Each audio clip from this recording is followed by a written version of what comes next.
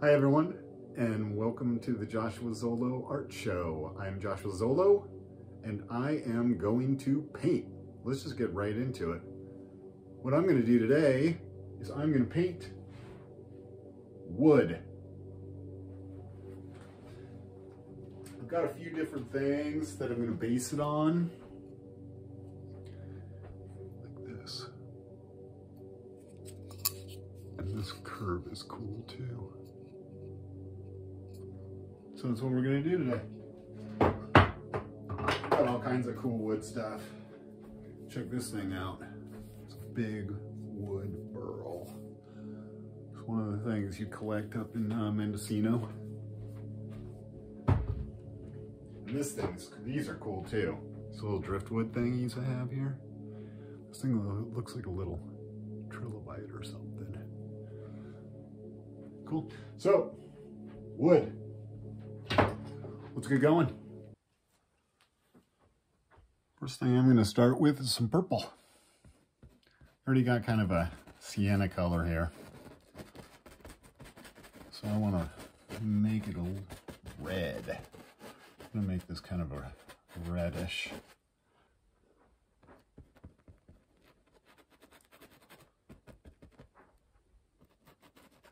You want that real dark.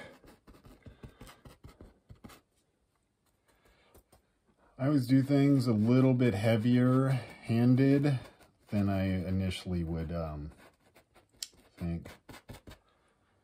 Because then you can blend everything into it. It works good. A little yellow highlight there. So how's everyone doing? I can actually look in this and paint at the same time. Oh, no, I can't. Never mind. Never you mind on that. I'm putting a little yellow highlight so that they're reflecting the color off of each other there. And then I have ultramarine blue. I'm putting this as a straight blue down here.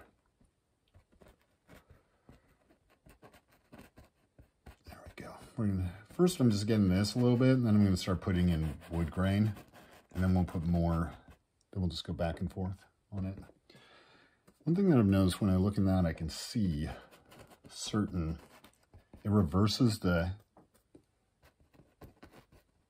image.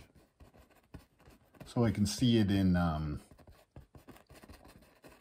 in a different direction than I would normally. It's bizarre. So I can see like holes. It's almost like seeing from, I don't know. I don't know why. But it's cool. It's cool. It's cool. All right. Pretty happy with the way my, uh, thank you to anyone who looked at my last video. And if you haven't, after you see this, go and check it out. All right. First off, yeah, red. Get that fire going. Oh, geez. I went heavy on that. Okay, let's go with it.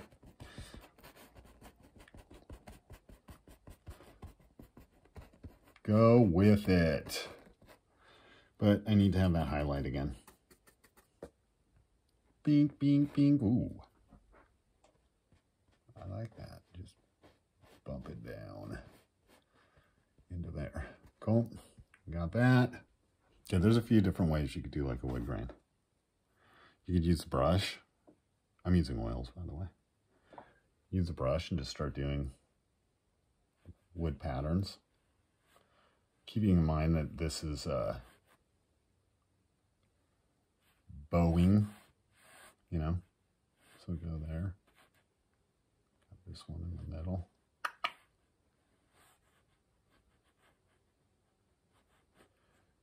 There we go.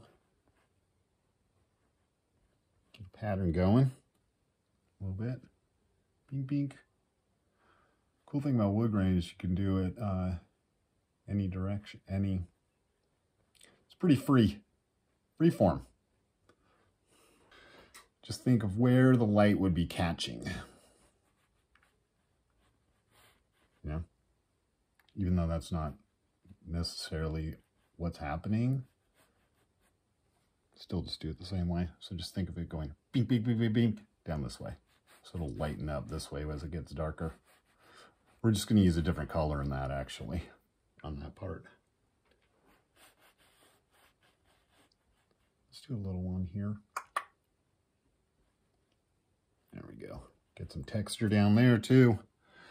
Got to get some texture everywheres. There we go. There we go.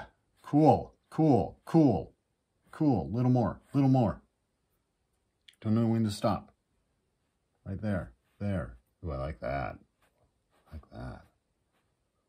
Let's make it switch up here too. Switch. Oh, that was a little heavy. I'll just use my hand. Use my hand. Brush it down. Mellow it out. And this also will give it that kind of spray that um, wood grain has. Feathery type of look. There we Perfect. It's going. All right, now I'm going to do something a little outrageous and see what if it works. I'm going to put pink in here. Coming up towards this spot. Yeah, I like that. Balance it with a lighter yellow. Naples yellow. It's the bomb. You can mix it with blue. Naples yellow you can mix with blue. And it um won't turn green. It's awesome. Okay, let's do a little pink here too. Might as well bring the pink through this whole thing. I've got like a purple. This was mainly like uh, it was sienna, burnt sienna, when I first started it. Then I'm using like ultramarine. Make a little hole right there. Both ultramarine red and ultramarine blue. I'm like a pigment freak. I use way too many. You can do a palette with like 10 or 12 colors. I'm just insane. I mean, I just love color, color and I like all the different aspects of it. And I want to know everything. I want to learn, know everything on the planet. That is my plan. Cool. Pink. Pink like the redwoods.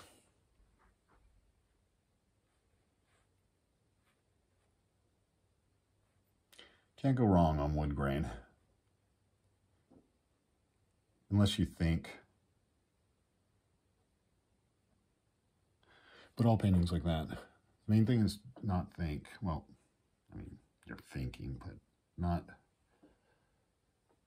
um, let the body disappear. Let the mind relax. And then see what happens. See what comes out. All right. This edge is too dark. Too dark park. Does anybody know how, in the comment section, if you know how to like, I can play music, little bit of music without getting deleted. I just don't want to spend so much time on the video and then get it deleted. I was doing an Instagram live. Oh, I should um, paint and talk at the same time. I was doing an Instagram live and I got cut off because I had music in the background, which thank God I got cut off actually. The camera came on and I panicked and went mute. And so I sat and I painted with my back to the camera for like one song. And then I was like, okay, I'm going to just turn it off. And I turned around and it says, your video has been stopped and deleted because of co possible copyright infringement. I was like, oh, thank God. Thank God. And then I turned it on and did another one and uh, it felt good. Felt good. Just have to jump off the cliffs in, in these type of things, you know? I'm liking this. This look good. Need more pink in the center here. All right, I'm using a Rose Lake in here.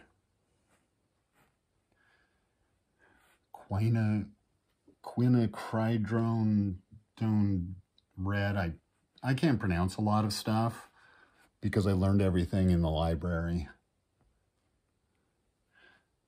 The internet of the 80s.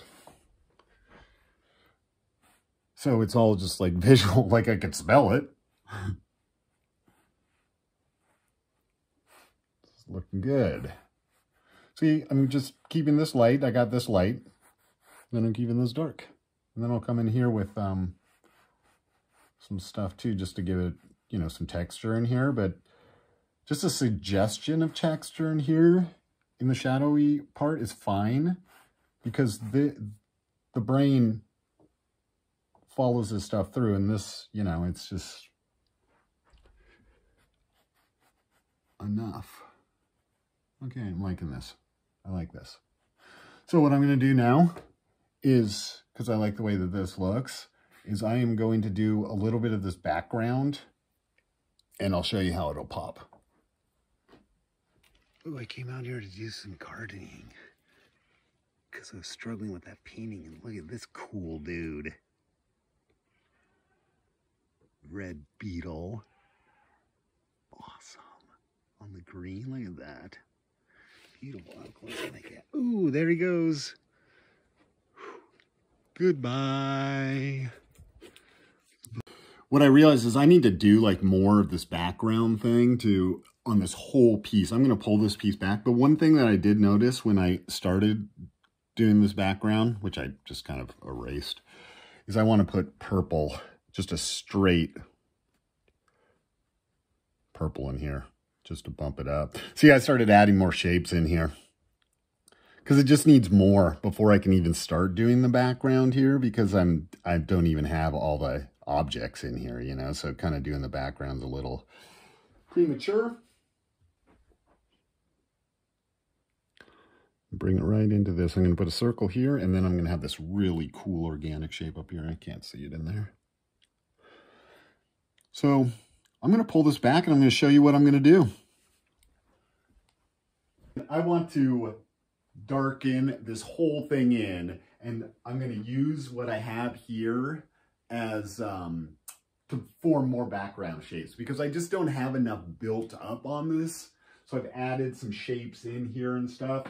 So I'm going to spend the day doing that and uh, just kind of getting some more shapes into here, uh, messing around with the background. I'm getting good at not swearing, actually. We'll keep doing more and more. I'll shoot some videos on some other stuff. I've tried a few.